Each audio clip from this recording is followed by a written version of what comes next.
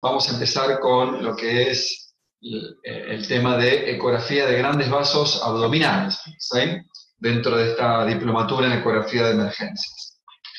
Eh, ¿Qué es lo que vamos a ver eh, en esta charla? Vamos a evaluar la aorta abdominal, sus ramas, qué son los aneurismas, las nociones de Doppler. Algo de las ramas abdominales ya hemos hablado y de nociones del Doppler también algo hemos hablado. Siempre en cada charla tratamos de comentar un poquito de Doppler, así que vamos a repasar un poco de eso.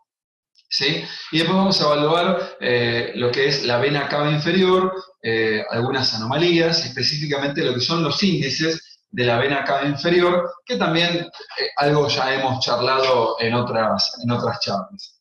¿sí?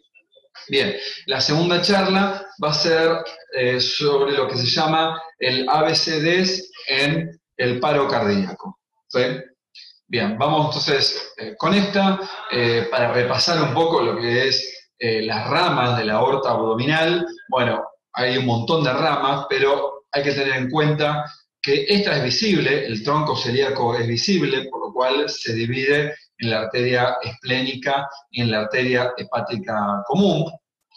también es visible la arteria renal derecha y la arteria renal izquierda, eh, y otras de las ramas también bastante visibles, que es la arteria mesentérica superior. Acuérdense que tiene un tejido graso a su alrededor que es fácilmente visualizable.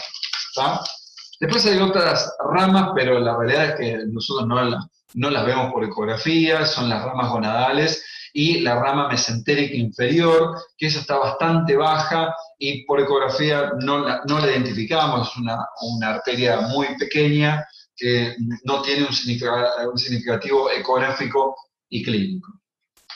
Bueno, eh, acuérdense que para evaluar la aorta siempre tenemos que evaluarla de, las dos maneras, utilizando un traductor convexo, eh, por lo cual podemos eh, ponerlo de forma longitudinal, esta sería la representación y la visualización de la aorta, siempre de la línea media un poquitito inclinado hacia la izquierda, es decir, pivoteado hacia la izquierda, eh, y la vemos en su forma completa y después también la podemos repasar en un eje corto, es decir, en transversal, y repasamos la aorta desde arriba hasta abajo. Sepan que el traductor, más o menos a nivel del ombligo, que quizás estaría esta la situación, la aorta ya se divide en sus arterias ilíacas eh, primitivas o principales. ¿Sí? Bueno, entonces esto es lo que tenemos que ver cuando vemos la aorta y hay que apretar porque la aorta está bien, bien en la zona dorsal, por lo cual hay que apretar para desplazar un poco todo los, eh, el aire intestinal. Y bueno, esta sería la imagen, la típica imagen donde acá a su izquierda está la cabeza, acá a su derecha está la parte de los pies del paciente.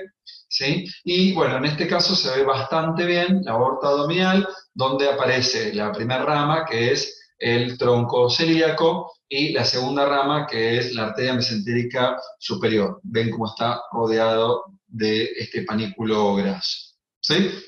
Bueno, la aorta abdominal se puede, por ejemplo, medir acá. ¿sí? Entonces, en la primera rama, como les decía, es el tronco celíaco, ¿no? donde se ve acá la aorta, estamos en un corte transversal, se ve entonces la aorta transversal, el tronco celíaco, que ahí se divide en la arteria esplénica y la arteria hepática. Este es eh, lo que se llama el signo de la gaviota, que en general lo llegamos a ver bastante bien, ¿no? Bueno, acá esta, gaviota está media trunca, le pasó a un ala, pero bueno, bastante, bastante bien se, ve en este corte, ¿sí? Bueno, eh, y ahora esto lo vimos hace mucho, ¿no? Y queremos repasar, ¿no? Eh, lo que vemos acá en este signo de interrogación, acuérdense que es partecita del lóbulo hepático izquierdo. Eh, lo que está acá abajo es la vena esplénica, donde siempre arriba de la vena esplénica está el páncreas, ¿sí? Acá eh, se encuentra la arteria mesentérica superior, y acá tenemos los dos grandes vasos abdominales, la aorta abdominal y la vena cava inferior. ¿Correcto? Eso es todo lo que verificamos. Entonces lo que marca acá en la flecha es la vena cava, es eh, la arteria mesentérica superior. Bien, em, entonces acá tenemos un corte eh, transversal, donde se ve un poquito mejor la gaviota, con sus dos ramas, que es el tronco celíaco, ¿sí? Y se ve acá en este corte longitudinal el tronco celíaco que no está justo agarrado acá por la mitad, sino está agarrado quizás apuntando un poquito más hacia la derecha, por eso probablemente esta sea por el diámetro la arteria hepática. Y se ve muy bien entonces la arteria mesentérica superior como va hacia abajo. ¿Sí? Bien, si seguimos con el traductor un poquito más abajo, eh, siguiendo de forma transversal, donde seguimos viendo la aorta en su eje corto, y bueno, va a aparecer las otras ramas que le siguen, que se ven habitualmente, que son las arterias renales, tanto la derecha como la izquierda, y acuérdense que la arteria renal izquierda se encuentra más o menos en hora 3, hora 4, y la arteria renal eh, derecha se encuentra en más o menos hora 9, hora 10. ¿Sí? Bien, hasta acá se ven las arterias, las ramas de la aorta abdominal, ya prácticamente no se ven más eh, otras ramas, ¿no? Como mencionamos. Bueno, entonces fíjense aquí y aquí, ¿no? Cómo se visualiza muy bien, aparte del latido, en un corte longitudinal, donde se ve el tronco celíaco y la arteria mesentérica superior, en un corte transversal, donde se visualiza acá, no sé si ven la gaviota, se ve muy bien las dos alitas de la arteria hepática y la arteria esclénica. ¿Sí? Bien, vamos a, ver ya parte de la patología eh, de la aorta, donde son los aneurismas de la aorta abdominal. Eh, un aneurisma es una dilatación de la arteria que se produce por debilidad de la pared. Es irreversible, tiene tendencia a aumentar de tamaño a lo largo del tiempo, se encuentra bastante frecuente en las autopsias de más de un 10% y los aneurismas de la aorta abdominal es la localización más frecuente. ¿sí? El riesgo es mayor con aumento de la edad.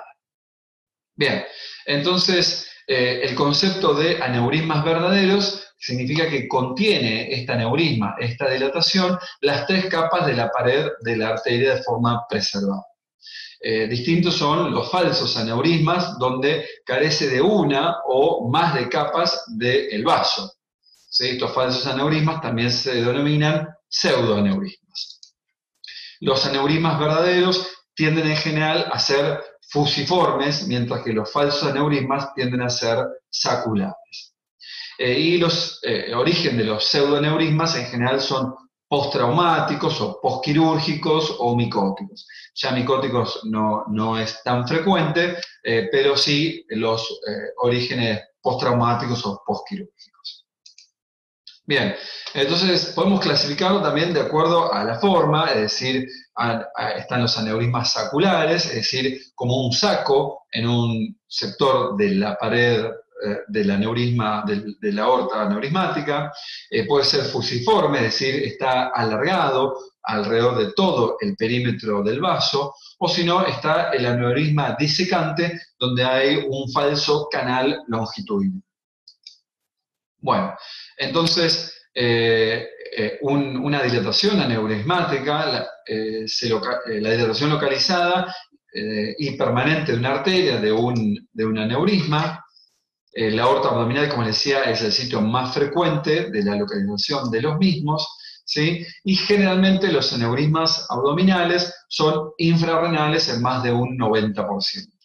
Acá estamos viendo ¿sí? en un eje largo, es decir, como se visualiza a lo largo de la pantalla, ¿no? que va desde la parte caudal a cefálica, toda la formación y la dilatación aneurismática. ¿sí? Bien, entonces hablamos de aneurisma cuando el diámetro es mayor de, ¿qué les parece? ¿Alguien que diga? Es decir, tenemos acá Acá tenemos el aneurisma, vamos a medir desde la pared externa hasta la pared externa del otro lado. Obviamente esto es un trombo que se adhiere a lo largo de los años. ¿sí? Entonces decimos que hay aneurisma cuando es mayor a 3 centímetros. Muy bien. Bueno, eh, la realidad, ¿cuál es la magnitud del problema? La prevalencia con aumento de la edad de los pacientes, ¿sí? en un 2 a 5% en los varones más de 65 años, eh, la ruptura de un aneurisma es una situación de emergencia más dramática en la medicina. La cirugía electiva presenta la realidad de una mortalidad muy baja, es decir, cuando detectamos estos aneurismas casi asintomáticos, los pacientes sobreviven en su gran mayoría. Eh, y solo el 50% de los aneurismas aorta-abdominales rotos llegan a la atención médica y de este 50% solamente la mitad, eh, la mitad tiene una mortalidad en este grupo. Así que vean que es una enfermedad cuando se rompe eh, prácticamente devastadora. La mitad llega al hospital y la mitad de estos que llegaron se mueren dentro del hospital. ¿Sí? Bien. Bueno, eh, eh, ¿cuándo, son ¿cuándo, tenemos indicaciones para ver la, la, aorta por ecografía? La realidad es que cualquier paciente que tiene una masa pulsátil va a ser pedida eh, cuando hay compromiso hemodinámico en el sistema arterial de uno de los miembros, ¿no? cuando uno detecta que hay diferencia en la palpación de un miembro a otro, también tenemos que estar obligados a ver la aorta. Cualquier paciente que viene con dolor abdominal, sobre todo pacientes de más de 50 años, estamos obligados a eh, ver y medir la aorta abdominal. Eh, ni que hablar cuando encontramos sintomatología, signos como un soplo abdominal. Eh, y después, la realidad, bueno, como un poco ya les dije, en toda ecografía que hagamos de rutina a cualquier paciente, una ecografía abdominal de cualquier paciente, eh, o pacientes mayores de 50 años, estamos obligados a ver la, aorta abdominal. ¿Sí? ¿Está comprendido? Bueno, eh, algunas nociones del Doppler, antes de mostrar algunas imágenes del Doppler, recuérdense que el Doppler eh, básicamente hay tres, bueno, por lo menos hay tres, hay varios, pero está el Doppler color, el Doppler de energía, o llamado Doppler potenciado, y el Doppler espectral. Bueno, vamos a recordar un poquito de esto.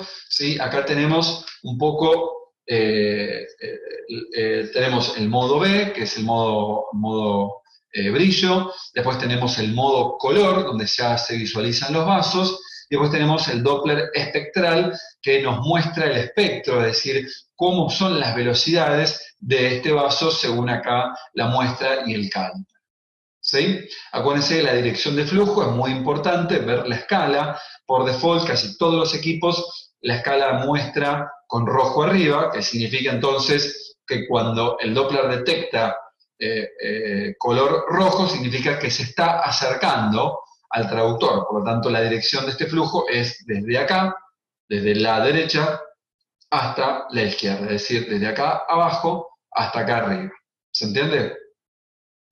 Y lo mismo, esto es una carótida primitiva y esto es la yugular, donde vemos que se tiñe de azul, por lo cual el flujo se está alejando del traductor, es decir, desde acá hasta acá. ¿Correcto? Esto es algo de repaso como habíamos visto. Bueno, acuérdense que todos los, los ecógrafos tienen eh, un botón que habla de invert, por lo cual uno puede invertir la escala y el rojo que estaba arriba pasa a ser rojo para abajo y obviamente eh, fíjense que se mantiene esta distribución según los colores, por lo cual es importante ver siempre la escala. Bueno, eh, otro de los conceptos que habíamos puesto con el Doppler color es el aliasing. Fíjense acá que es una imagen eh, longitudinal de la aorta, donde se ve los dos, las dos primeras ramas, el tronco celíaco y la mesentérica superior. Le ponemos el Doppler, ¿sí? Acá tiene eh, una escala, un PRF que es medio bajo, ¿no? donde está en 0,18, por lo cual se ve muy bien entonces el, color de la aorta, ¿no? Fíjense que como se acerca acá el rojo, por lo tanto el flujo está yendo desde acá hasta acá, es decir, es normal, viene el flujo de la cabeza a los pies. ¿sí? Bien, pero ¿qué es lo que pasa con la rama acá en la rama mesentérica superior se ve muy bien, pero acá se ve la rama del tronco celíaco, donde hay como un flujo turbulento, ¿no? En verdad esto se le llama aliasing, significa que acá la velocidad es tan alta que sobrepasa la escala aquí del rojo de 0,18 y los picos seguramente se tiñen del otro lado de color azul. Por lo tanto, entonces se ve aliasing, significa que para esta escala la velocidad de esta arteria mesentérica superior es muy elevada. ¿Se entiende? Yo acá lo que tengo que corregir es quizás la escala, en vez de 0,18, pasarla a 0,30. Entonces directamente acá voy a ver muy bien de forma roja teñida la arteria mesentérica superior. ¿Sí? Bien.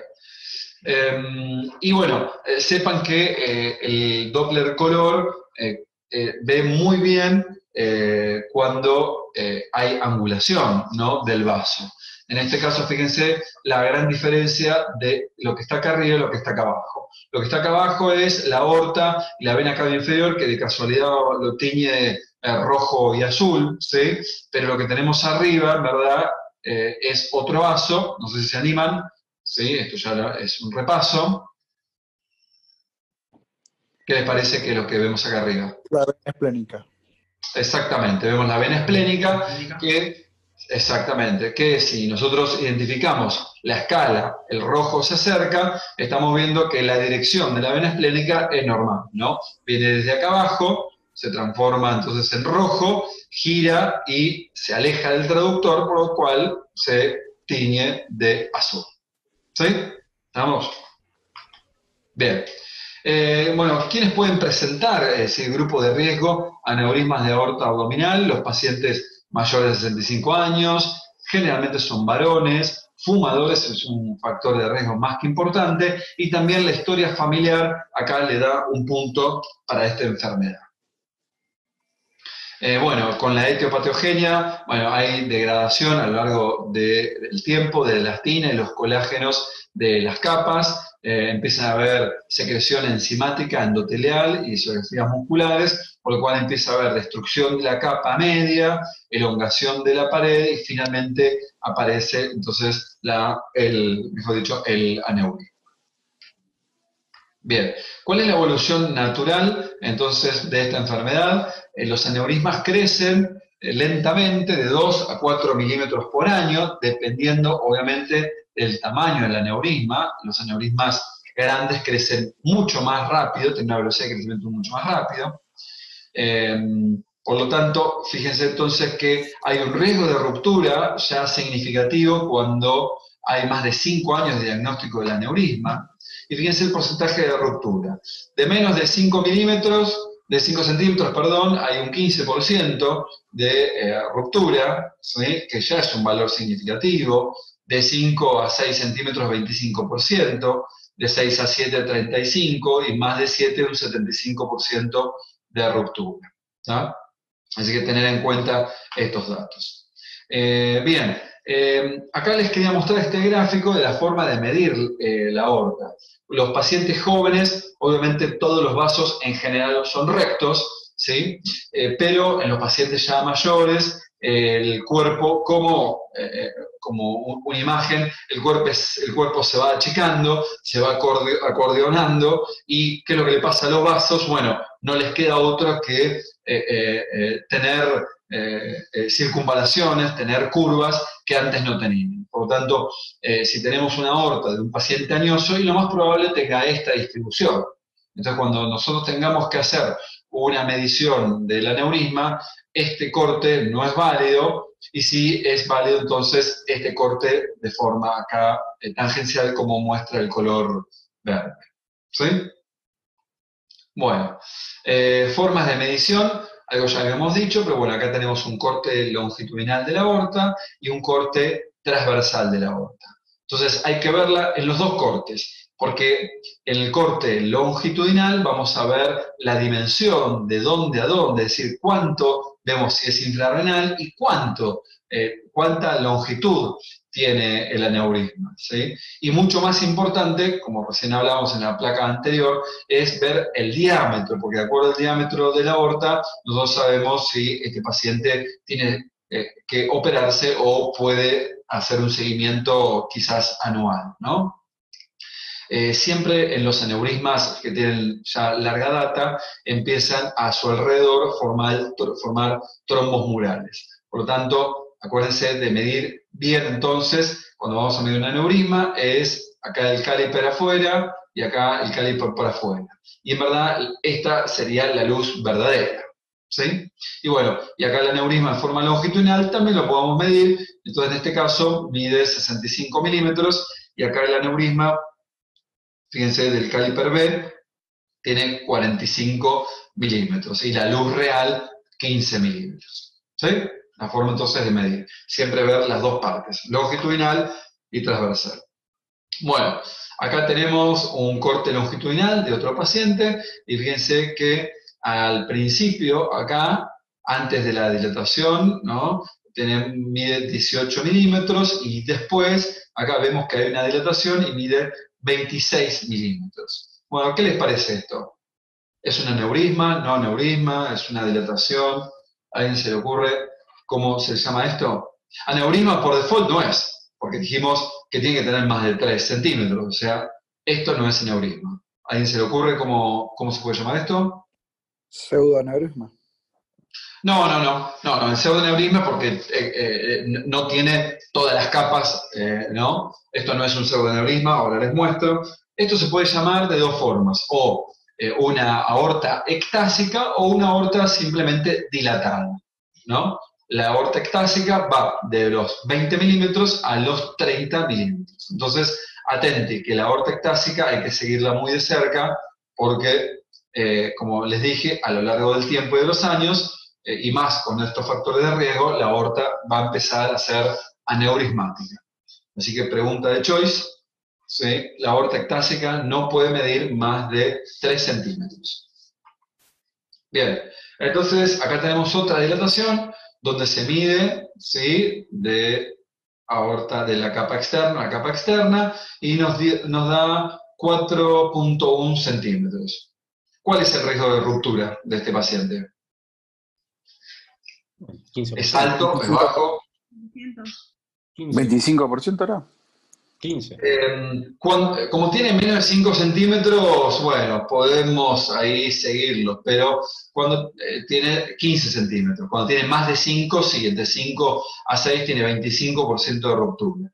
De todas formas, no sé si alguien que está presente acá le gustaría andar por la vida con un aneurisma de 4.2 centímetros, ¿no?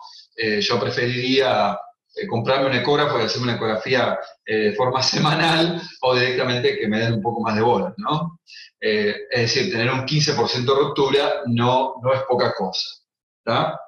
Bien. fíjense este video de forma transversal, cómo se ve la aorta neuropática, se ve el trombo, esta es la luz acá verdadera, ¿no?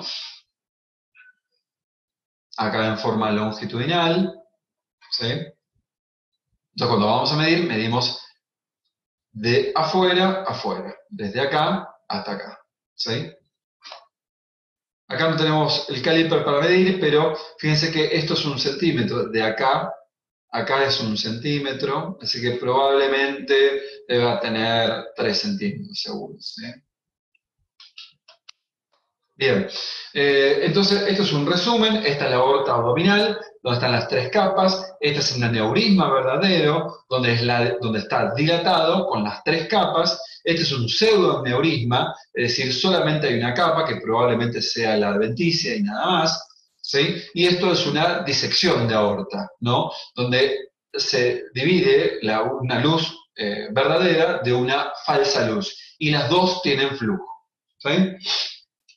Entonces vamos a ver algo del pseudoneurisma. Los pseudoneurismas dijimos que eh, eh, son de origen en general iatrogénicos traumáticos, postpunción, muy fácil de ver en los postprocedimientos de cateterismo o a veces también cuando ponemos un introductor en la arteria femoral y bueno, eh, después se retira, no se comprime bien y genera entonces un pseudoneurisma. Entonces, eh, es una lesión que está visible hasta el 7% de los cateterismos, debido bueno, a la punción mediante introductores. Ocurre la disrupción de la pared de la arteria en ese lugar de la punción, eh, cuya rotura queda contenida por los tejidos de su alrededor, dando una apariencia de un saco o de un falso aneurisma. Al cual pasa la sangre de un canal de manera que pasa por el cuello que comunica con el vaso perforado. Entonces la sangre entra y sale por ese cuello generando todo un movimiento sanguíneo oscilante. Entonces la diferencia de esto que es un aneurisma sacular, donde tiene las tres capas, distinto a un pseudoneurisma o falso neurisma, donde solamente tiene una sola capa que lo contiene. Y fíjense que acá en, estas ecografías, en corte tanto eh, transversal como longitudinal, hasta el vaso, acá con color, y de repente hay un cuello que se va a este saco, a este pseudoneurisma. Y a veces se puede ver el signo del Shingle-Yang porque este flujo eh, entra por un sector y vuelve de la forma contraria a través del cuello. Más específicamente se ve aquí, ¿no? Como esto es la arteria femoral, femoral, femoral común, ¿no? Donde se ve la arteria femoral superficial y la arteria femoral profunda, y ahí tiene todo este saco y el cuello pequeño, que está por acá probablemente, y entonces hace el signo del Shingle con este, este flujo circular. ¿Sí? Entonces, este es un falso neurisma o un pseudoneurisma. ¿Correcto? Bien. Bueno, eh, les quería mostrar unas imágenes, ya que estamos hablando de la aorta abdominal, porque eh, una de, de, las terapéuticas de eh, los aneurismas, del tratamiento de los aneurismas, hoy por hoy, sobre, sobre todo en gente mayor, es la utilización de las endoprótesis, es decir, que son procedimientos mínimamente invasivos, en nuestro hospital se hace muy frecuentemente estos procedimientos, y fíjense cómo de este aneurisma abdominal de repente queda sustraído, se ve muy bien la endoprótesis. ¿no? Le ponemos Doppler color y se identifica muy bien como solamente el flujo queda marcado por dentro del neurisma, de la prótesis y por fuera no tiene. ¿Sí? A veces con, a lo largo de los años puede haber un leak o una lesión mínima y puede haber a veces fuga de, eh, de, la sangre hacia lo que era el antiguo aneurisma. Pero generalmente anda muy bien, toda esta parte queda sustraída, esto, esto se coagula, se fibrosa y queda perfectamente bien la endoprótesis con su flujo. ¿Sí? Bueno, fíjense acá en este, cómo se ve muy bien. Va ahí de vuelta. Acá se ve muy bien la endoprótesis. Todo esto es el aneurisma y todo coágulo a su alrededor. La endoprótesis, esta es una, prótesis de tipo pantalón porque eh, acuérdense que los aneurismas eh, de aorta abdominales están en un 20% asociados a aneurismas de las ilíacas. Entonces también tenía este paciente aneurisma de las ilíacas, por lo cual se le puso una endoprótesis en pantalón.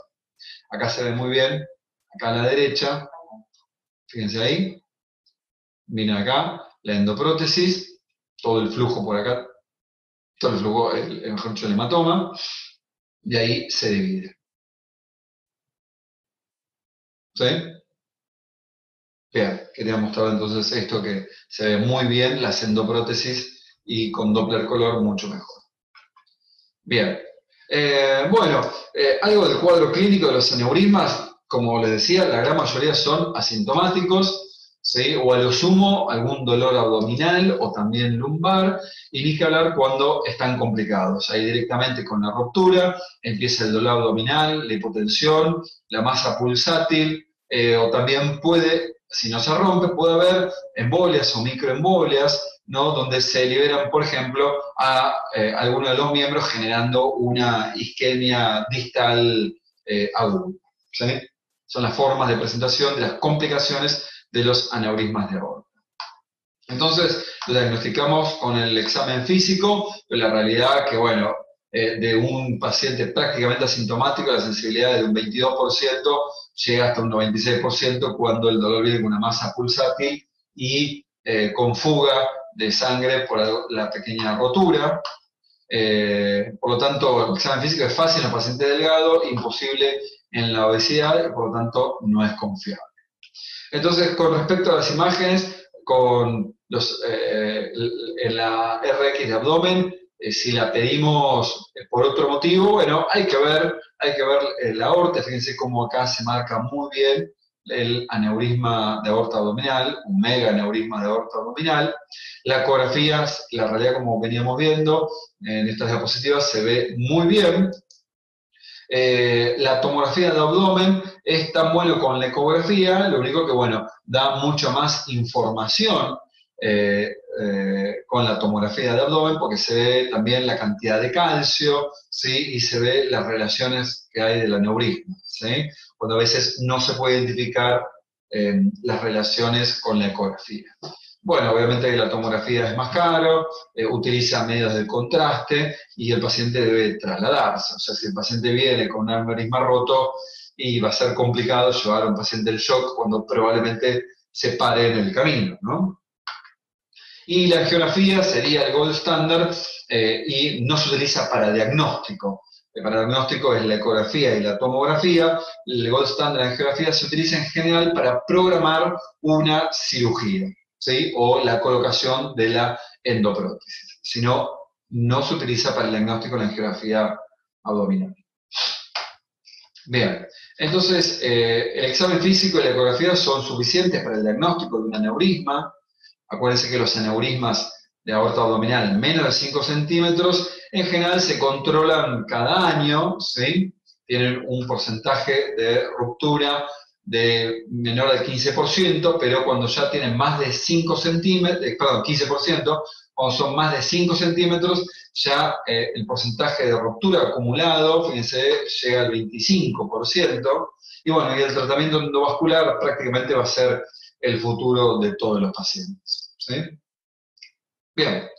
Eh, ah, bueno, y como les decía, no olvidar la relación del aneurisma aorto-abdominal con los aneurismas periféricos de la cilíaca. Así que estamos obligados a estudiar las arterias ilíacas primitivas de los pacientes que diagnosticamos quizás de forma eh, asintomática eh, una aneurisma de aorta abdominal. Em, para hablar un par de palabras ahora de lo que es la disección de aorta, ¿no? Se presenta en general como una urgencia, es raro las disecciones eh, de forma asintomática, así que todas las disecciones son, una urgencia, tiene una alta mortalidad, solo el 25% de los pacientes sigue vivo a las dos semanas, eh, un tercio no son diagnosticados oportunamente en la primera consulta, y cinco veces más frecuentes, lamentablemente, en los varones. Bueno, eh, la realidad es que eh, la disección de, la aorta aneurismática es a, través de un desgarro, una rotura de la íntima, creando un falso lumen, como se muestra acá, ¿no? y una, hay una extensión anterógrada o una resección o un avance retrógrado desde el punto de la lesión intimal, como se muestra acá. ¿sí? Acá hay una lesión, por ejemplo, en la aorta ascendente, donde va a ir hacia adelante y viene también como un avance hacia atrás. ¿sí? Bueno, están los diferentes tipos y los diferentes tipos de clasificaciones de los aneurismas eh, disecantes de aorta. Está entonces el tipo 1, que es ascendente y descendente, el tipo 2 es solamente ascendente y el tipo 3 es solamente descendente. ¿Sí? Eh, los aneurismas de origen arteriosclerótico tienen en general eh, predilección por la aorta descendente y se asocian muchas veces con aneurismas de aorta abdominal. ¿sí? Bueno, eh, esto es una imagen tomográfica donde se visualiza entonces la verdadera luz, fíjense que a la aorta entonces descendente, la verdadera luz es generalmente mucho más chica y la falsa luz al inicio es mucho más grande.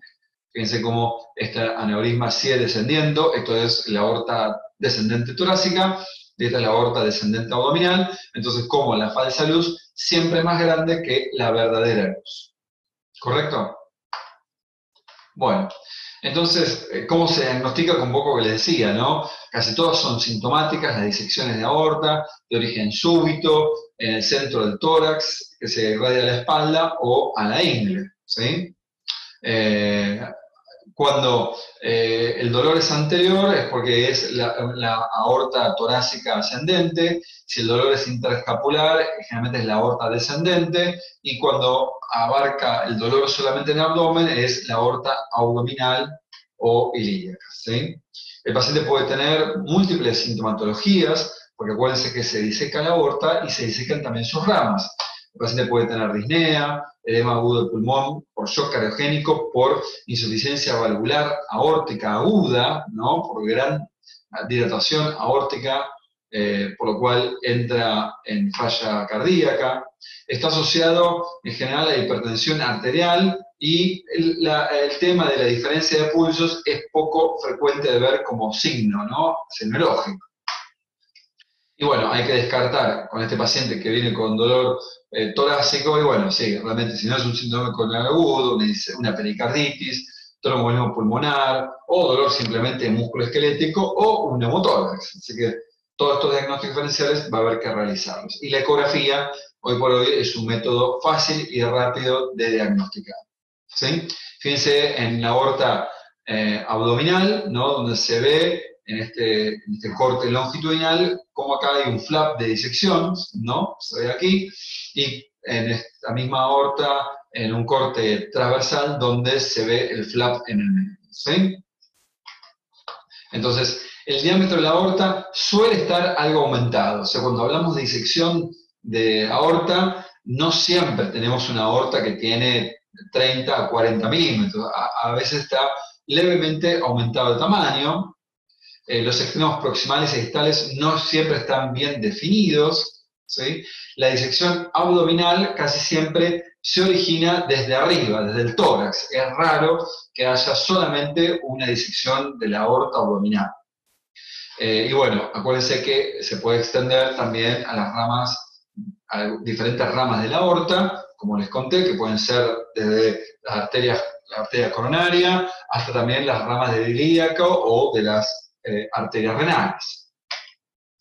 Bueno, entonces fíjense en un corte transversal cómo se ve muy bien el flap de disección de la aorta, del, aneurisma aórtico. Acá vemos también, entonces con el Doppler color, ¿sí? entonces eh, se visualiza la, la, división y vemos diferentes colores. ¿sí? Vemos diferentes, acá un color rojo, bien, bien fuerte, ¿no? con alta velocidad y un color más, eh, más bajo eh, con menos velocidad.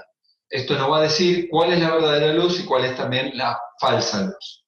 En general, la, la falsa luz tiene una velocidad al principio inicial mucho más elevada. Por lo tanto, esta sería la falsa luz. Bueno, fíjense acá. ¿No? La verdadera luz es esta, que está acá, que es la más chica, y la falsa luz es esta que está acá, donde tiene, fíjense, flujos más bien turbulentos. Se ve muy bien el flap.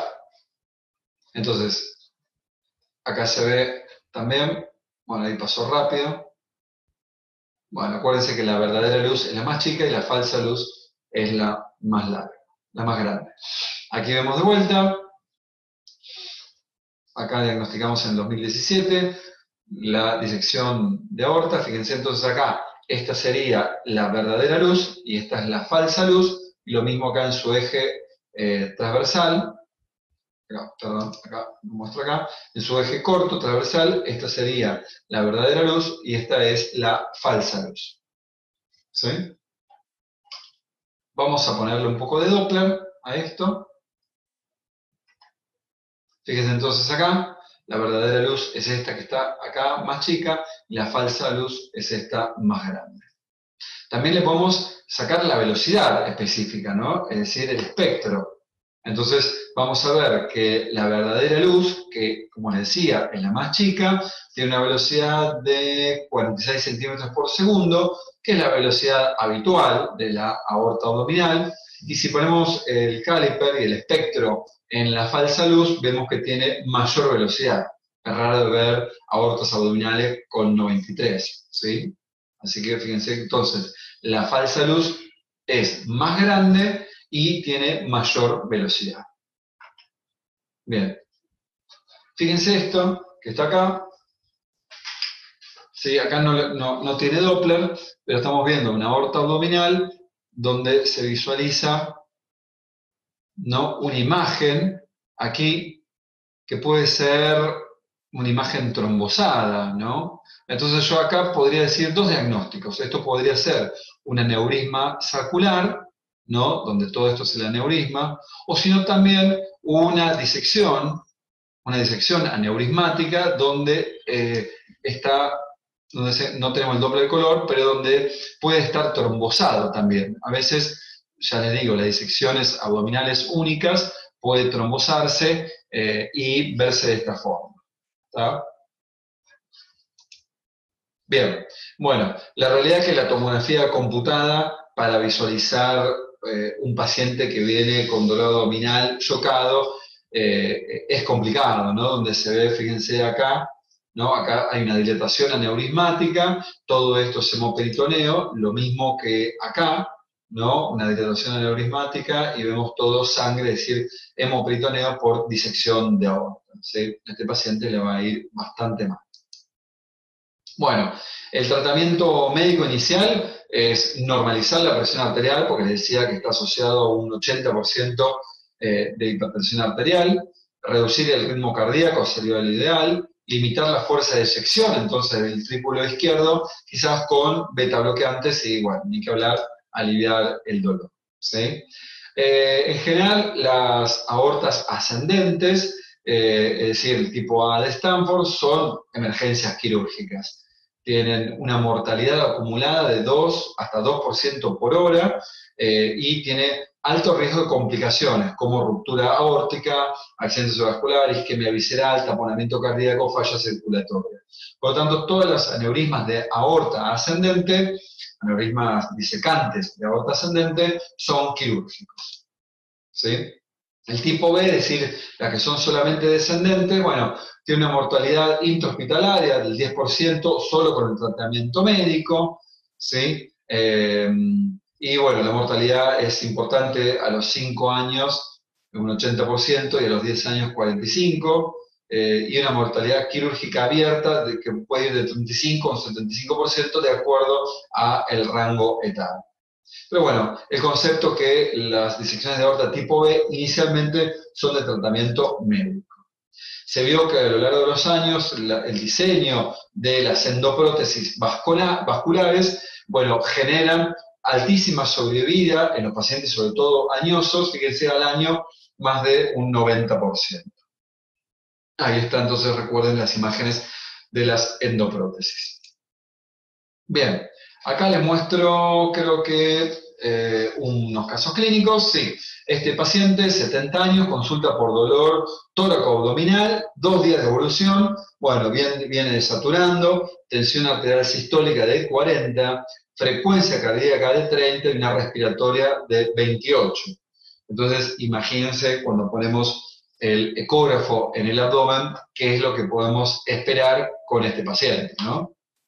Este es el electrocardiograma, que lo que tenía, fíjense, todas T negativas en casi todas las caras, es decir, una isquemia subendocárdica en toda la cara inferior, eh, inferior y anterior. Esto es producto porque hay eh, eh, disecciones de las arterias coronarias. Y vamos a ver la ecografía, no les mentía, está con 30 de frecuencia cardíaca.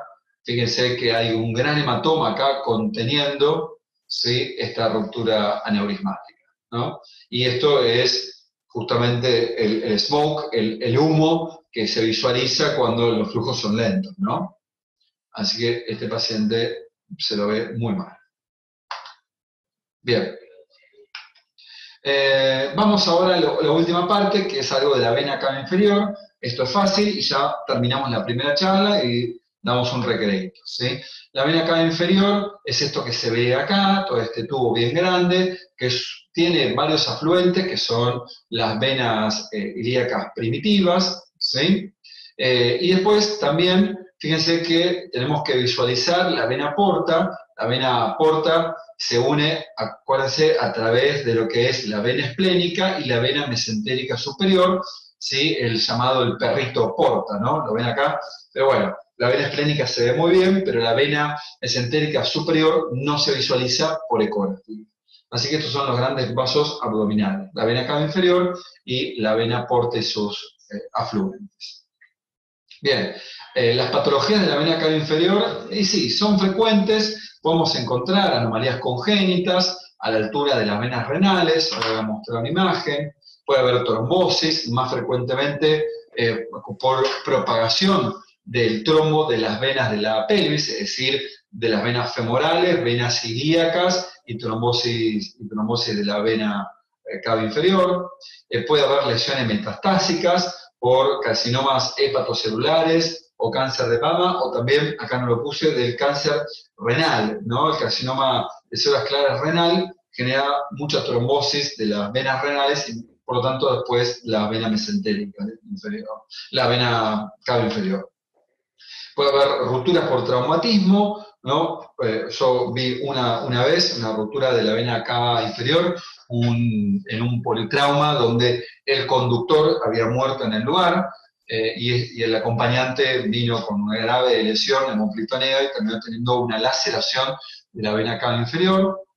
Eh, bueno, ustedes ya saben cómo identificar la vena cava inferior. Si quieren ir en un corte transversal, lo que hay que irse es bien, bien eh, hacerlo, si el paciente puede respirar hondo, eh, donde vemos entonces la entrada de las venas suprahepáticas hacia la vena, hacia la vena cava inferior, ¿sí? Eh, y si nos ponemos en longitudinal, bueno, tenemos que ver dos tubos, es decir, si, nos, si pivoteamos el traductor hacia la izquierda vemos la aorta, y si pivoteamos hacia la derecha tenemos que ver la cava inferior. ¿sí? obviamente, si el paciente está hipovolémico o con o desprecargado, bueno, no se va a ver tan fácil la vena cava inferior como la visualizamos en este lugar, ¿no?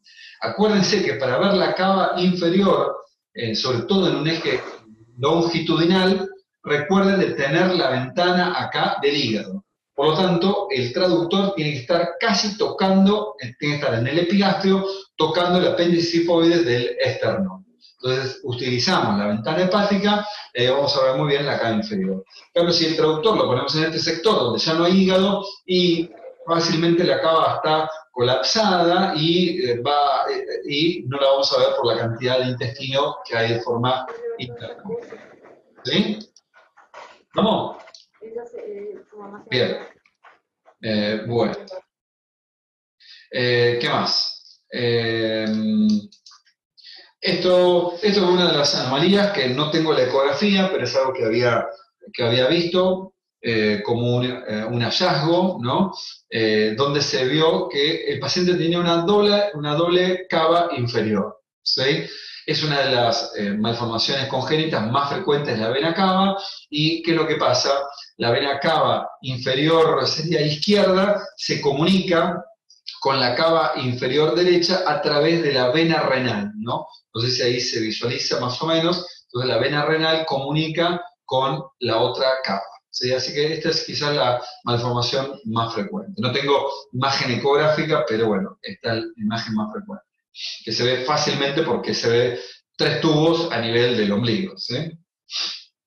Bien, em, la vena cava inferior tiene modificaciones de acuerdo a los movimientos respiratorios. ¿sí?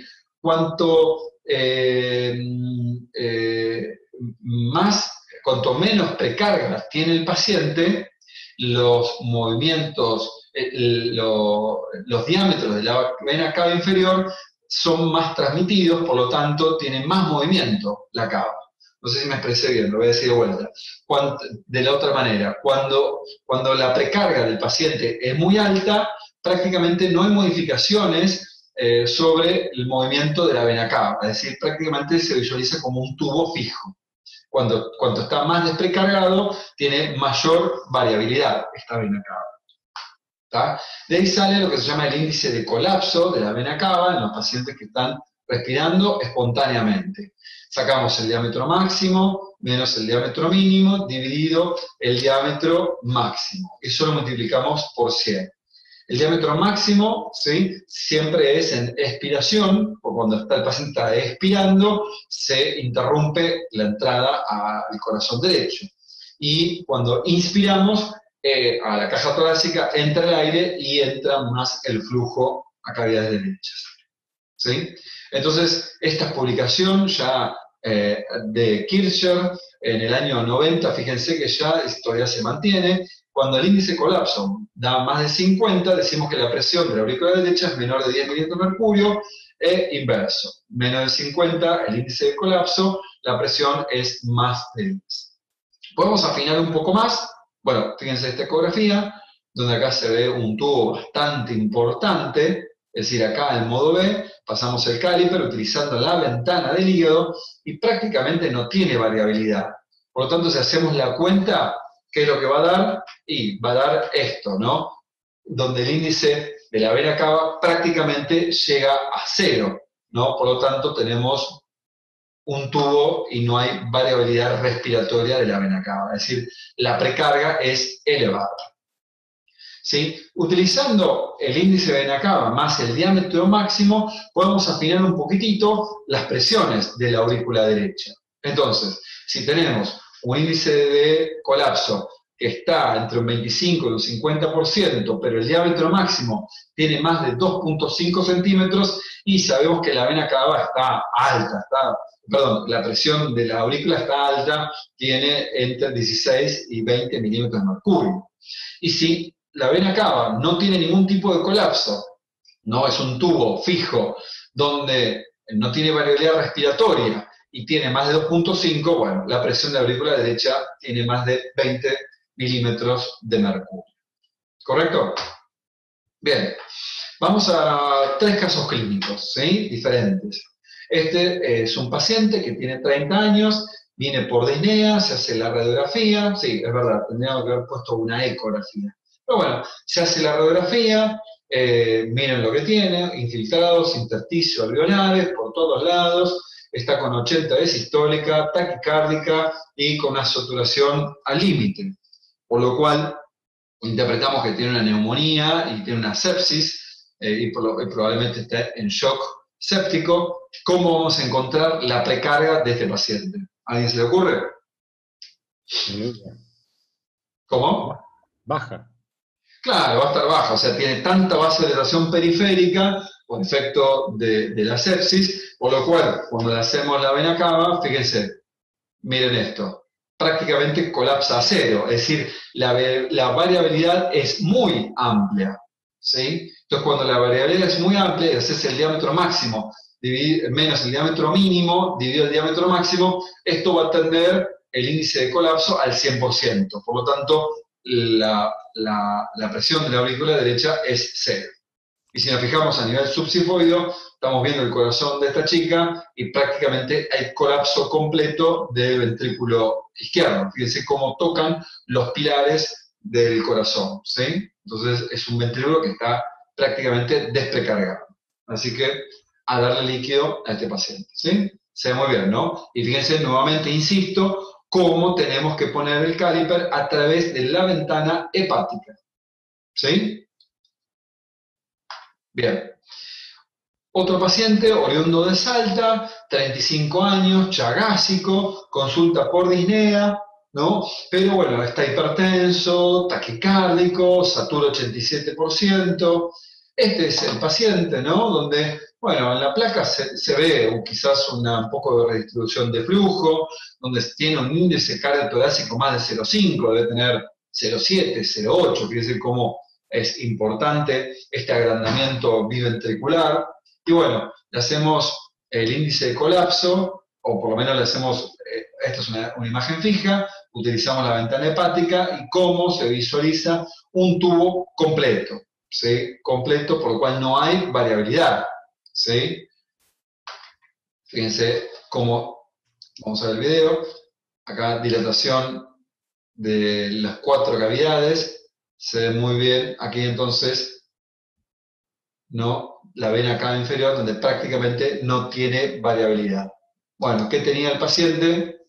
Una insuficiencia cardíaca con una cardiopatía congénita chagásica, por lo cual la precarga de este paciente habría que medirla, ¿no? utilizamos acá. Sabemos que el índice de colapso probablemente está llegando a cero, ¿no? A ver si deja ver, ahí está, probablemente el índice de colapso esté llegando a cero, y si acá medimos más de 2.5 centímetros, significa que la presión de la aurícula derecha es más de 20 milímetros de mercurio. ¿Sí? Bien, y creo que este es el último caso, eh, para eh, hacer una pausita. Este paciente tiene 56 años de edad, consulta por disnea progresiva posterior a un infarto de un mes de evolución. ¿sí? Y viene con 90 de sistólica, un poco taquicárdico, la saturación no es del todo buena. Vemos acá esta placa de tórax, donde, bueno, se ve la realidad como un botellón, ¿sí?